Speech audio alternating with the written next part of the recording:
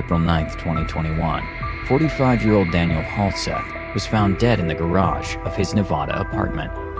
But we'll talk about that later on. Let's start by discussing Daniel for a moment. He was born in Estacada, Oregon. He came from a long line of Oregonians, and his family was some of the state's early settlers. Daniel earned a bachelor's degree in music at Western Oregon University, and his nickname in college was Drummer Dan. But apart from music, he also received a business degree from Corban University in Salem. The man was actually fairly active on social media, and upon posting constantly, he managed to gather over 20,000 followers on Instagram. On the social media platform, he described himself as an entrepreneur, but his content revealed that he had other interests as well. The majority of his posts on Instagram were pictures that he took while he was traveling. He captured landscapes, sunsets, and everything pleasing to the eye when you open Instagram and start scrolling. According to his aunt, Daniel was an extremely talented photographer, and he even dabbled in music. Seems like a guy who was good at everything, if you ask us. The last picture he posted was taken from a plane, capturing Las Vegas from a bird's eye view. From the images, he appeared to be returning to LAX after a trip that he took. It seemed that he went to Providence, Rhode Island, Oakland, California, Boston, Massachusetts, taking pictures of historical monuments and tourist attractions from each of these states. This last post that he uploaded, the one from the plane, went live on his Instagram just two days before the police found his almost cremated body in his garage. Apart from Instagram, Dan also had a YouTube page where he would post videos of hiking through the woods in the Bay Area. He liked spending time in nature and tried to do that with his daughter Sierra. She was into it at first, but as she got older, well, her priorities changed, and you'll find out soon enough. Daniel had also been married to a woman named Elizabeth, who was the youngest woman to be elected to the Nevada State Senate. This happened in 2010, when she was only 27 years old. She and Daniel had gotten married in March 2001, and they got divorced 10 years later, in 2011, after having three children together, each older than the other by one year, Sierra being the youngest. On the day of his death, Daniel's mother had been trying to get a hold of him. Actually, the desperate woman tried to talk to her son for over two days, but couldn't reach him. It was unusual for the two not to talk on a daily basis, being very close and having a great relationship with one another. Knowing this was not typically an action done by Daniel, his mother then called Sierra, the 16 year old who told her grandmother that her father's phone was broken. By 10 a.m. the next day, there was still no word from Halseth. His mother again called Sierra, demanding to speak to Daniel, but the girl claimed he was in the shower. When her grandmother threatened to call the police, Sierra hung up. Less than 20 minutes later, surveillance footage captured a Nissan Altima matching the description of Daniel Halseth's car leaving the area, records show. She then called his landlord, telling her that she couldn't get a hold of her son. The landlord informed his mother that she won't be able to go right away, as she had some business to take care of, but promised that right after she sorted out her affairs, she will go and check on Daniel. And that's exactly what she did. After a couple of hours, the woman, accompanied by a friend, went to Daniel's house to check on him. Flames startled the two, so they called the fire department. It seemed that the place was on fire. The authorities quickly arrived and put out the fire, but after doing so, they discovered something gruesome. The firemen didn't believe their eyes after the flames were put out. What should have been a routine call about a small house fire turned into something completely different and much more severe. There's a dead body in the garage we just found. I'm with the homeowner that doesn't listen. Okay, and you're in there right now? Yes, yes. The almost cremated body of Daniel Halseth was found in the garage. Then they called the police. Investigations immediately began, trying to find the cause of death. While searching the home, police found several things that would shed some light on the murder of Daniel Halseth. The officers stumbled upon a bottle of lighter fluid, a chainsaw, a circular saw, and a handsaw. But that wasn't everything they saw. These apparently had blood on them, as well as human tissue between the teeth of the handsaw. It was clear that they had been used, with no success, to try and dismember Daniel. Also, two pocket knives were found, and a package of extra blades. It appeared that the knives and the spare blades also had blood on them at one point, but they've been cleaned off. Police stated that an extensive operation of trying to get rid of any evidence and any bloodstains had taken place, right where they found the pocket knife.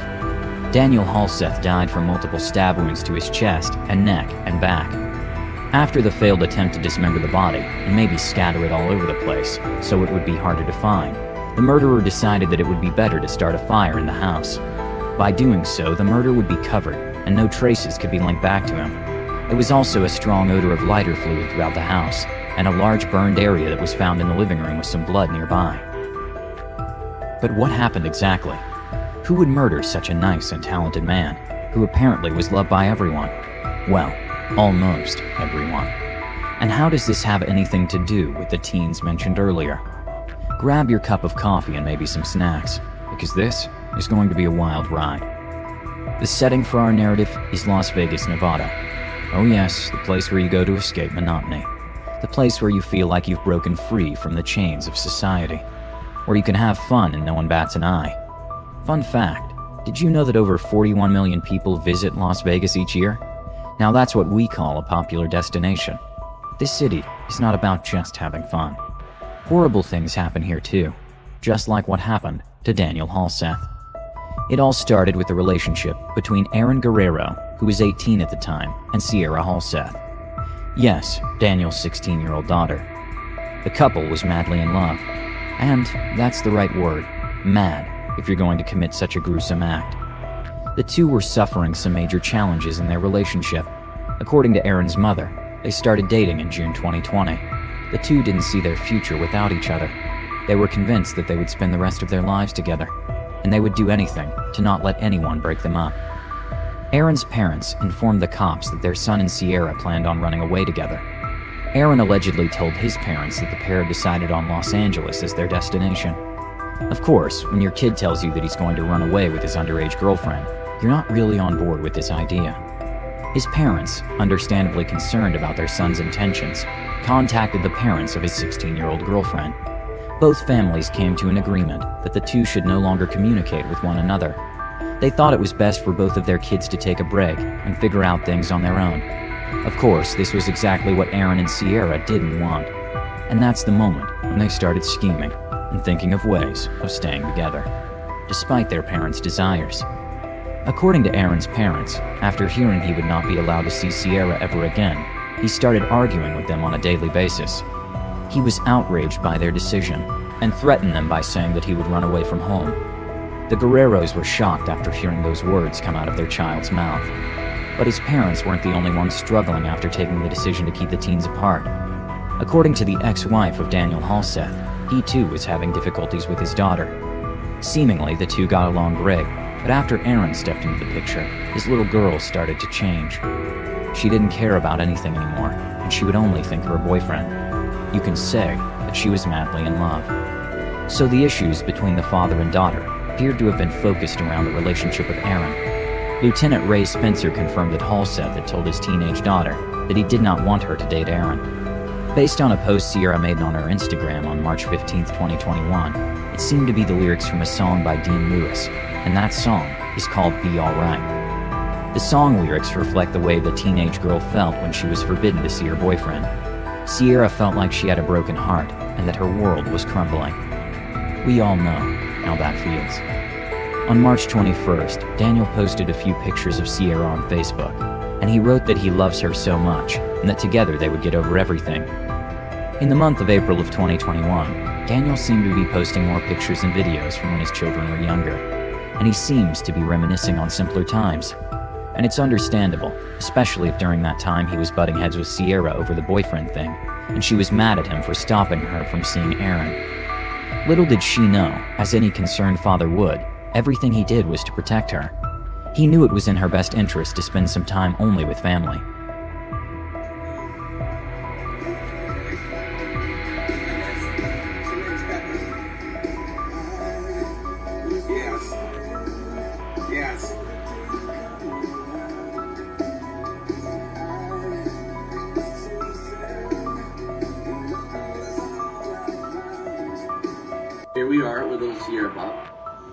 Hi, Sierra. Say hi. Hi. Hi. And she's got her pink towel. She just got out of the shower. And I'm saying hi. And there's Jordan. And he's saying hi. Hi, Jordan. And the kitties have been helping Daddy. By posting that content, he basically tried to speak his daughter's language. He said that he loves her and that he's there for her by sharing videos of her when she was little. Videos of both of them having a blast. The total opposite of what was happening then, when she was furious with him. The teens, unable to reconcile with their family's decision that they should be kept apart, are alleged to have taken matters into their own hands. The two, Aaron and Sierra, who were already dating for several months, started to make plans. Of course, they weren't just going to sit around letting their parents command how they lived their lives. They figured out that in order to run away from home and be together, they would need some money. And the first thing that came to their heads was to rob their parents and flee to Los Angeles before their families figured out what happened. These plans do put an interesting spin on the story and shines a light on the possible motive in Daniel's murder. On April 9th, Aaron killed the father of his girlfriend in cold blood. She allegedly helped him. There's no information as to what exactly happened. Upon further investigation, Daniel suffered multiple wounds. He was been stabbed about 70 times, stuffed into a sleeping bag, and set on fire. His body was found almost completely burned. There's footage dated to the night Daniel got killed, which shows the couple driving away from Halseth's house in her father's car. Detectives also reviewed footage from the surveillance camera of a hardware store, where they saw Aaron purchasing a saw, lighter fluid, and plastic gloves. But the girl didn't stand by idly. Oh no, Sierra was also seen on surveillance footage, buying bleach from a grocery store, so that they could clean any evidence that would point to them. Additionally, Daniel's ex wife, who claimed that they had remained friends after they divorced, said that they still shared a bank account that they apparently used to pay off mutual debts or mutual bills.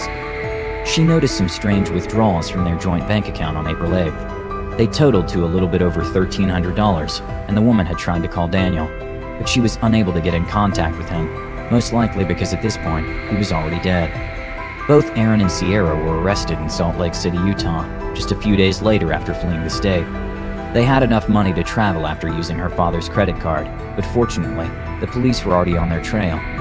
Police officers in Utah had come in contact with Aaron and Sierra while they were riding on a train that pulled into the 900 South Station. When Aaron was asked to show his ticket, he admitted that he didn't have one. So the police ran a background check, and it was discovered that Aaron and his 16 year old companion Sierra were wanted on a full extradition warrant out of Las Vegas. Even though the two tried to cover their tracks, they left behind enough evidence for the police to be suspicious of the two. By following several clues like receipts and surveillance tapes, police soon found one particular piece of evidence that would convict the two teenagers. After being taken into custody, the officers went through the couple's phone, and what they stumbled upon really was the nail in the coffin needed to tie up all the loose ends when it comes to the murder of Daniel Halseth. The officers found a video of the two kids, Aaron and Sierra, on the bed, recorded three days after her father was murdered. The video is so disturbing, but not because it presents some gruesome images. Oh no.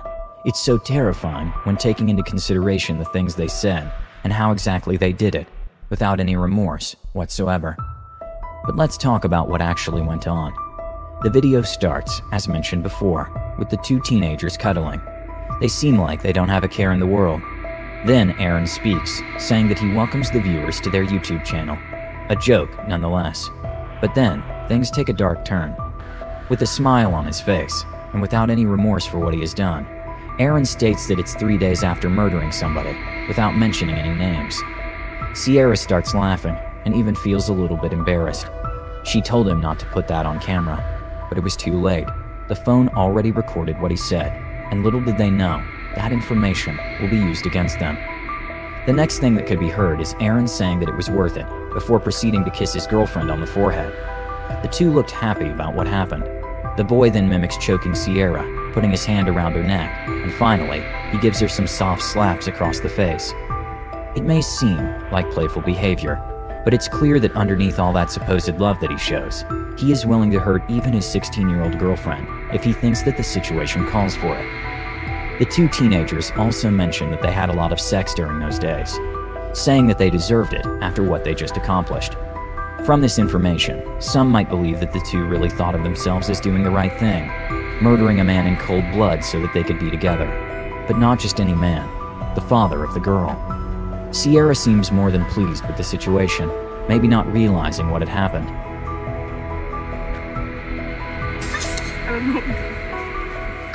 Welcome back to our YouTube channel.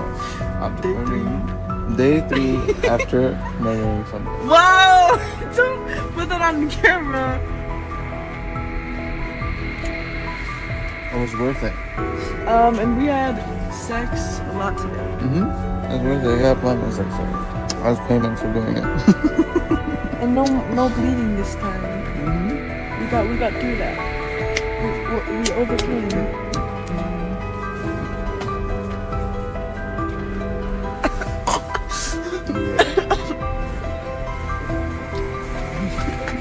so yeah.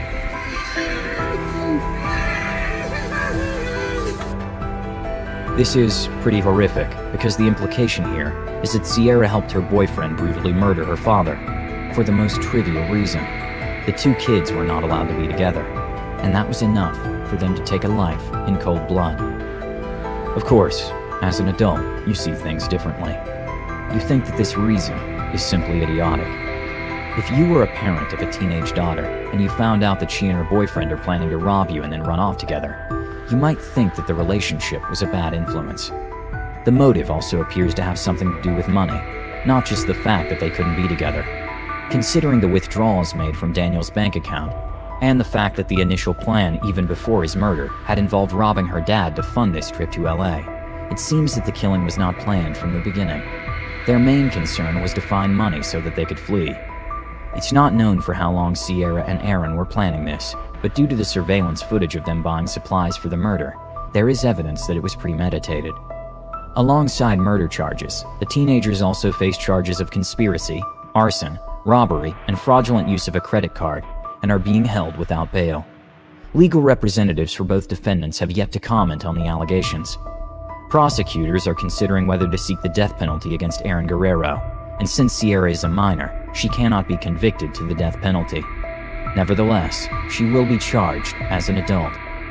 This case really turned our stomach.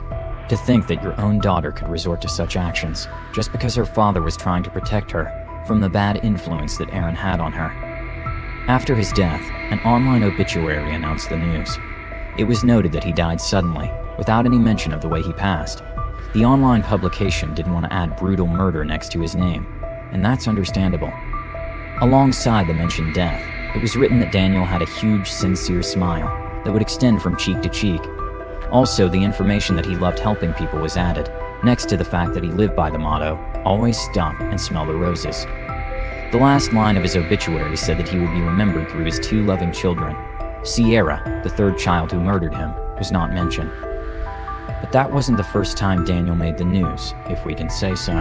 In October 2011, right after his first divorce, he was charged with misdemeanor counts of coercion and battery. Daniel was sentenced to six months probation and anger management classes. It seemed that he wanted to get the attention of his recent ex wife. Nonetheless, after that sentence, he changed his life. He went to anger management and he turned a new leaf. That's why, after that incident, he and his ex wife remained good friends and even shared a joint bank account. We must remember that parents would do anything to protect their children, and they must be respected and loved. Of course, that's not always the case. Here on Fear Files, we talked about different cases that would put parents in a bad light. Cases in which mothers would kill their children for the most trivial reasons. If you haven't seen those videos, we'll leave a link in the description, or you can just browse through our collection. So, this was the case of Daniel Halseth, murdered by Aaron Guerrero and his own 16 year old daughter, Sierra Halseth, all because he didn't think they were good together. If you found this story compelling, don't forget to like the video, comment down below your take on it, and subscribe to the channel. Also, hit that notification bell in order to stay up to date each time we reveal a new shocking case. And until next time, stay safe and keep your eyes peeled. You never know what's lurking in the shadows.